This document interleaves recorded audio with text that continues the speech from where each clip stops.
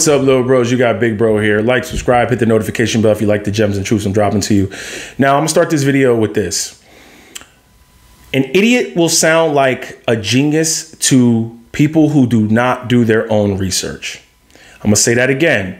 An idiot will sound like a genius to a person who does not do their own research. A person who does their own research and they've been investing a long time. When people on YouTube, uh, when, when, when they say catchphrases like, there's always a bull market somewhere, and a person who does not do their own research or their idiot followers would say, oh my God, there's always a bull market somewhere. An investor who's been doing this a long time will say, uh, Jim Cramer from Mad Money has been saying that for years. That's bullcrap because even Jim Cramer sucks at investing. Now, the reason why I say What's up, little bros? You got big bro here is because when I first started making videos about almost a year and a half ago, I would say I'm like a father figure to a lot of you, and I'm like a big brother to a lot of you. Because a wise man learns from his mistakes. I've learned from my mistakes. A, a wiser man learns from other people's mistakes. A lot of you who are watching this, my hardworking people and my lazy, stupid people, you might not have understood that when we try to talk to you, it's not because we're hating, it's because we're trying to save you because we tried it.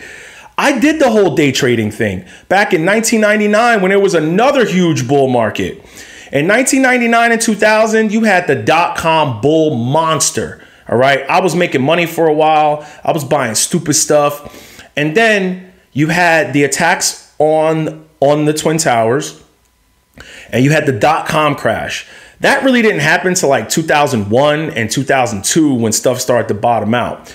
You had monstrous companies that were in the S&P 500 by weight and the top 10. Now you can Google these yourself. Lucent Technologies, Enron, WorldCom, Tyco, Global Crossings. These were like your Amazon, your Apples, your Microsoft of today and they all went belly up because people were cooking the books. This is why I say I do not invest in any tech stock that does not pay a dividend because it's easy to do accounting fraud and make it seem like you're making more revenue when you're really not.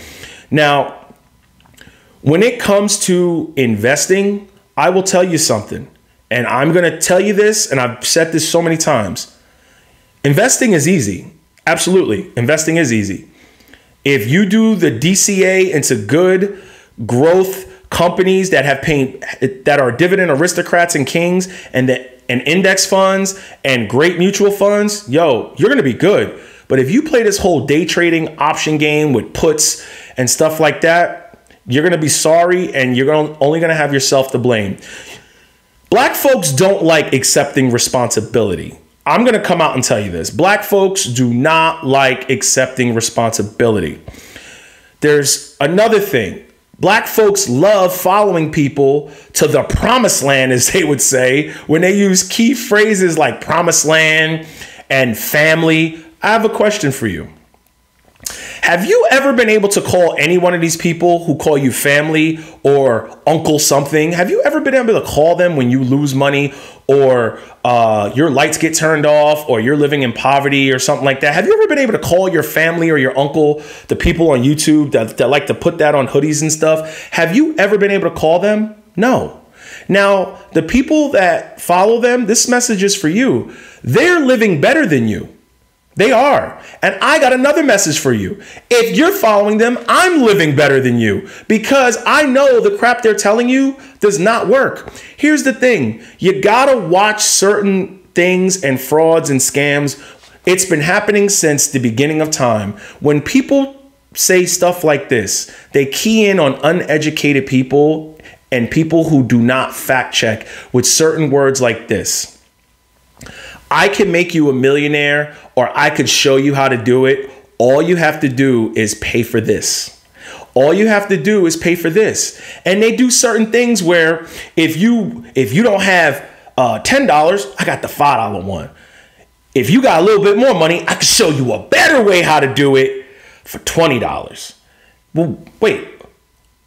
So, what about the people who five dollars, you're gonna show them an okay way, and the people who pay ten dollars, you're gonna show them a medium way, and people who show you uh, uh, uh who send you twenty dollars, you're gonna show them the best way, the master way. I don't get it. Now, I've been trying to tell you this, and I've been trying to spit gems and truths to you.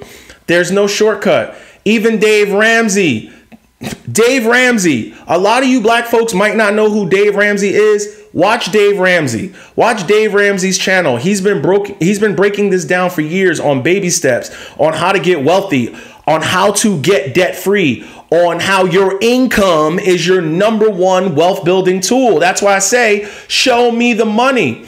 If none of these people can show me 10, 5, 6, show me three years of consecutive income before YouTube, before YouTube, how, how are you going to tell people how to invest? How do you give people stock advice, stock tips, wealth building tips that you're selling if you've never had any money in the beginning, uh, any money in the beginning to build it yourself? That's why I say, show me the money. I've always said that. That's going to be my catchphrase from now on. Show me the money. I'm not going to I'm not going to mention their names anymore. I'm not going to do that. I'm not going to throw their names out anymore. I'm done with that. But you'll start to see where they'll start to steal information and they'll start to use and borrow a lot of our stuff from YouTube. I'm not even going to mention any names, but um, you know, I've mentioned her before, and now all of a sudden on her channel, she's talking about Coca Cola, and Coca Cola is so good. It's a monopoly because uh, in Disney, they didn't sell Pepsi, and you could buy Coke. See, here's how I know she's not a real investor now, I own Coke and Pepsi. Why would you just own one and not the other when you can corner the market? Pepsi actually owns Frito Lay. I love Doritos. They're delicious. I love the sour cream and onion and the salt and vinegar. So if I love their product, chances are somebody else loves their product. I will buy a bag of Doritos and wash it down with a Diet Coke or a Coke.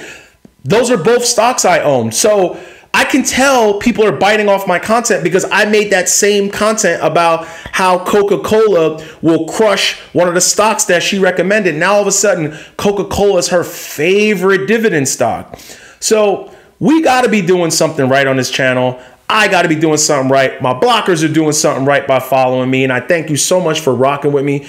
Now, you can watch their channels and you'll start to see a lot of the stuff that they're putting in their channels. They're either talking about me, they're addressing something I said, or they're stealing something I said in the past. Okay. There is no quick and easy way. There isn't. I'm sorry. There's the hardworking way that will pay off where you'll be able to be easier. The quicker you learn how much harder it is to put in that work, the earlier you'll be able to enjoy those fruits of your label, uh, excuse me, your fruits of your labor of retiring early and being able to kick back and enjoy you planting seeds that have grown into fruit trees that you can now eat off of. No regrets, get it.